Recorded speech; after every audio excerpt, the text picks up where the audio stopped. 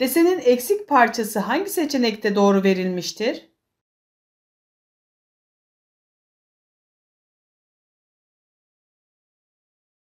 Desenin tamamına bakıp eksik olan parçadaki şekli bulalım. Cevabımız B şıkkıdır.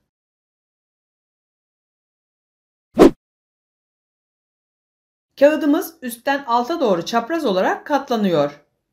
Pembe çizgili yerlerden kesiliyor. Kağıt tekrar açıldığında hangisi elde edilir?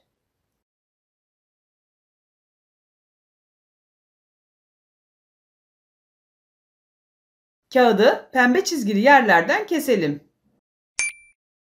Kağıt üstten alta doğru çapraz olarak katlanmıştı. Kağıdı tam ters yönde açalım. Simetri doğrumuz katlama çizgimizdir. Bu doğruya göre kesilen kısmın simetrisini oluşturalım. Cevabımız D şıkkıdır.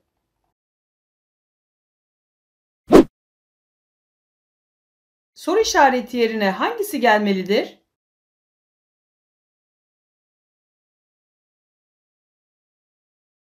Yeşil boyalı kareler her adımda aşağı doğru ilerliyor.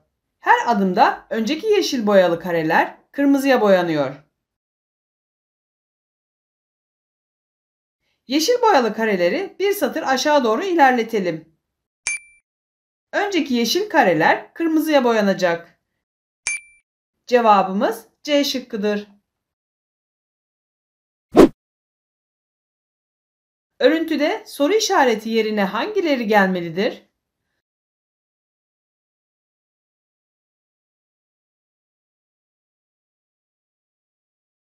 Örüntü bir inek, iki panda, iki koyun şeklinde oluşturulmuş.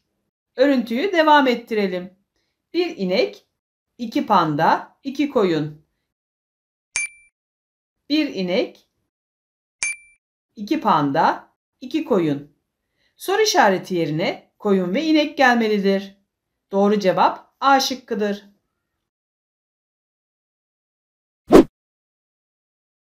Ekrandaki şeklin aynısı hangi seçenekte verilmiştir?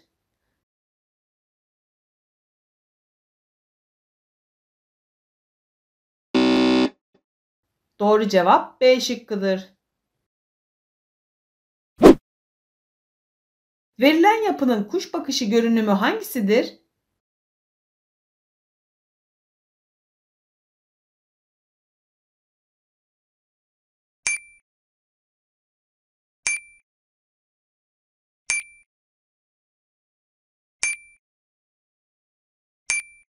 Cevabımız D şıkkıdır.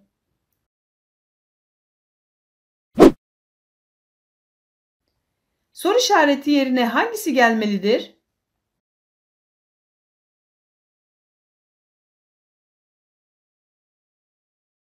Her seferinde farklı renkte bir şekil en alta eklenmiş. Yine en alta farklı renkte bir şekil eklenmelidir. Sadece C şıkkında hem sıralama doğrudur hem de en alta farklı renkte bir şekil eklenmiştir.